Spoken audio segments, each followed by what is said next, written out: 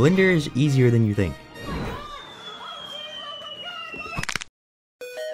I know we've all been there where you open up the software and go, What the hell? YouTubers like 12th Hour, Blender Guru, and Polyfjord all get millions of views because of their amazing Blender skills, and you can literally do the same in no time. And maybe get some cash along the way if you know what I'm saying. well, assuming you've already downloaded Blender, you have downloaded Blender, right? Open that orange up and create a general project. It'd be good to save this as well by using Ctrl S on your keyboard and naming the file whatever you want. First things first is to click on the default cube, hit him with that Control X combo, and then replace it by using Shift A, Mesh, and choose Cube. Just like in real life, you have to learn how to move and look around, and you can start by taking your mouse and pressing the scroll wheel button while holding shift. Now you can go flying anywhere in the software. Turning is just as easy. Use the exact same button but without shift to look 360 degrees and scroll up and down to zoom in or out.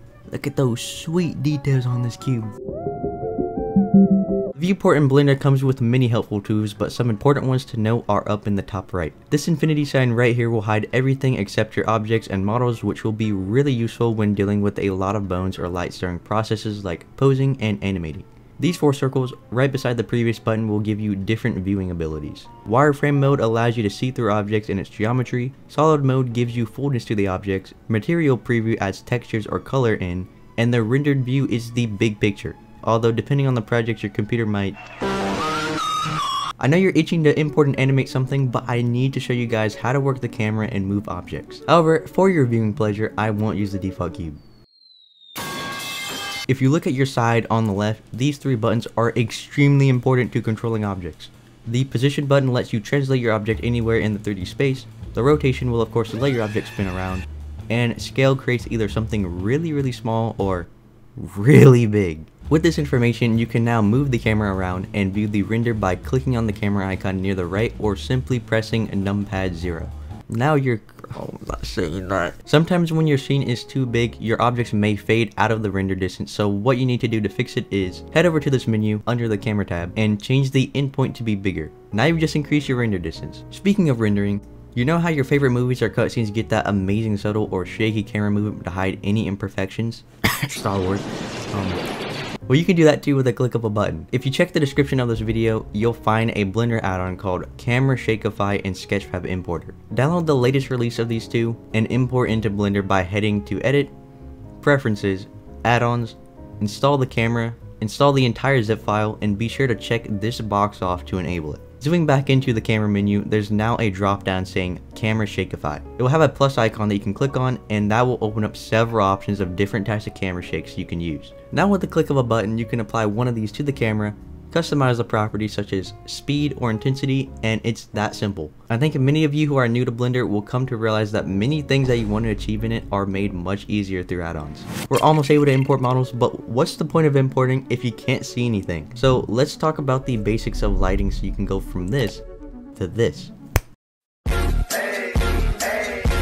Depending on the scene, the lighting type will vary, so for an example, I'm going to use a reflective plane that I made by adding a mesh, plane, creating a new material in the material tab on the right, and then lowering the roughness and raising the metallic value.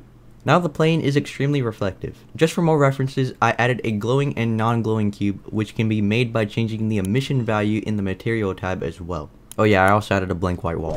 The first light is the point light. This light right here emits light in all directions. I know a lot of people use this for things such as light bulbs and some other scenarios. The area light right here emits light towards a specific surface. I actually use this one a lot to light my scenes and you can think of it as having a virtual softbox. The spotlight is pretty self-explanatory, it's literally a light in a a spot. Then the sunlight definitely is the most useful for outside scenes or just creating environmental lighting in general. Luckily for us noobs like myself, add-ons were created to help with lighting. In fact, I almost never use regular lighting because with this free add-on called Real Sky, link in the description by the way, I can create any type of outside lighting with a click of a button, and it actually looks great too. Just look at how it shows the details on the Mandalorian model. I almost forgot to mention, if you want to adjust regular lighting, simply click on a light, then head over to the menu on the right, Man, I'm rhyming. Then you can adjust the power, color, and even size. So definitely have fun with it. Now the moment you've been waiting for, how to import models. There's so many resources online where you can find 3D models, but the main one I'm going to show you is Sketchfab.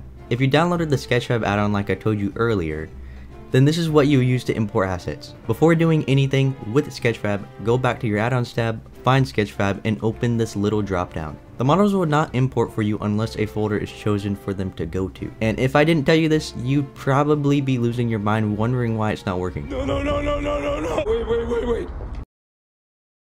Going back to the Sketchfab menu, literally it's as simple as typing the model you're looking for using different keywords to find it and selecting import. Now there are occasions where the model may not be visible immediately because it's probably off in space somewhere, so press Shift S and choose selection to cursor. The model will now teleport right in front of you for you to use how you wish. These models are made by other people in the 3D community, so be sure to check how you can use them.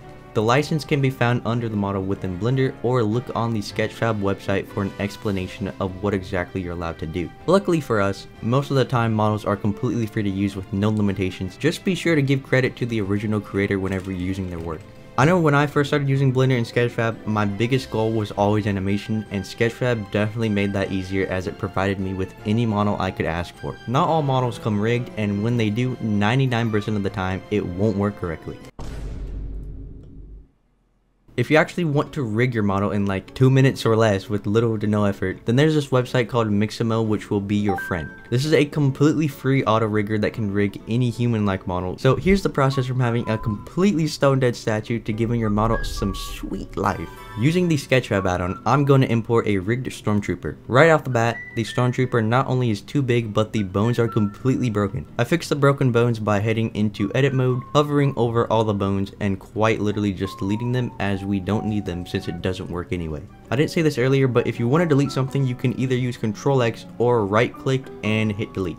Back in object mode, I want to resize the Stormtrooper and place it at the origin of my setup. I did that by finding the scene collection on the right choosing the model, and using Shift S to enable the option Selection to Cursor. Then resizing was easy of course by using the S key alone. In the past, sometimes the textures can get really weird, so I would say it's best to hover over the entire model, hold Shift and click a part of the model, and then use the command Control J to join the model into a mesh. Now the hard part is done and you're this much closer to having your model Hit the gritty. So how do you actually get this model exported and rigged? You want to head to file, go down to export as FBX and there should be a menu that shows up. Name your model whatever you want and then add premix following it. It's not necessary but naming your model like this will make it much easier to know what it is in the future. On the right side of the menu there's an option called path mode. You absolutely need to turn the path mode to copy and click the little button beside it. Trust me, your life will be 10 times better. Now you can save the FBX somewhere that's easy to access and this is the part of the video where Mixamo comes in. If you don't have an Adobe account, you'll need to create one in order to use Mixamo. This is the same company that runs softwares like Photoshop and Premiere Pro, so I'm sure you can trust them. In Mixamo, there's an upload character button. You want to use this to find your exported FBX model from earlier. After waiting for hopefully a not so long amount of time, the rigging menu will be given to you. Pretty self-explanatory. Rotate your model to face forwards and drag the points to the right spots. Voila!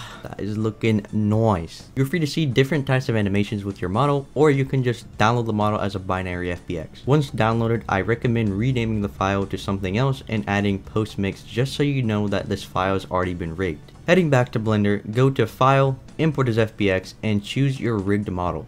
Yeah, that's a little bit broken. It's pretty easy to fix though. Click on the broken model first, then shift click the model that already has textures, and use the command Control L. You should see the words link materials. Once you do that, then the textures will be working just fine.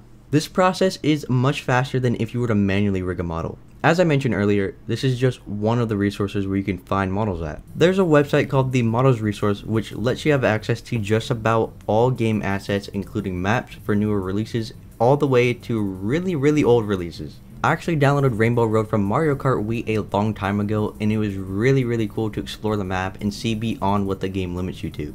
DeviantArt is another helpful resource to find models. Personally, I don't use this as often, but it doesn't mean it won't be useful to you. For those who want specific models related to the games Fortnite or Minecraft, there's a lot of communities that rip assets from the game files all the time. In fact, there's actually a Blender add-on called MCprep which lets you import anything Minecraft related, including your own worlds that you've built, which is pretty cool. Two honorable mentions are Source Filmmaker and Garry's Mod on the Steam Workshop, but I won't go into depth on that.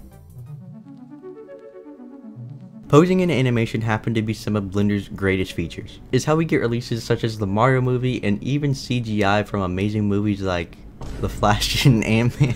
bro. That's so bad. Seriously though, mastering posing in Blender leads to all kinds of opportunities and that's all animation is. When you have a model you'd like to pose, click the little bones you see on the body until they light up and then head towards the top left so you can go from object mode to pose mode. If you click on a bone and use the rotation tool, you can rotate the fingers, hands, arms, legs, quite literally any way you want. When I was learning posing, it's always good to use references to real life as much as you can, whether it's from another source or taking your own references of yourself.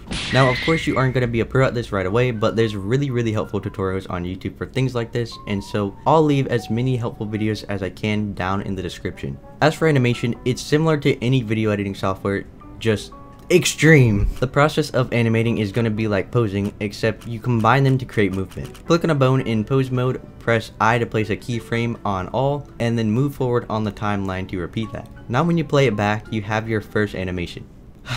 so the remaining question is, how do you use all this and then export your beautiful project so you can show it off to your friends? On the right, you'll see a little TV icon also known as the render tab. Whoa, render tab. Changing just a couple of values in the render tab can be the difference between an hour render time versus just a couple of minutes or less. So definitely pay attention to all of these settings. First of all, Eevee and Cycles are the main two render engines. Eevee is pretty much a faster, less detailed render engine and Cycles is what you use when you want to have really really detailed scenes with ray tracing. This is a scene from Eevee for reference and here's the exact same scene with Cycles. Pretty crazy, right? For both render engines, you'll be given a slider for the amount of noise and samples. Noise is like that static you see on really old TVs or camcorders. You really don't want a lot of it, especially if you're going for realism.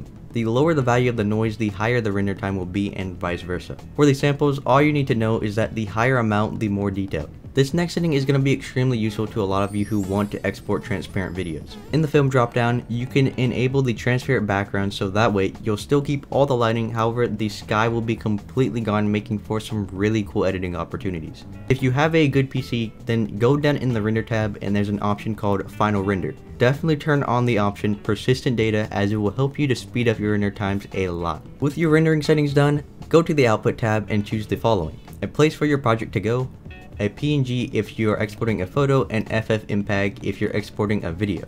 In encoding, set encoder to MPEG 4, speed to real time, and well, export. Going off script, I'd like to thank you guys for 1,000 subscribers. Literally finally hit on this channel after like what, one to two years now? So that is absolutely amazing. Thank you guys.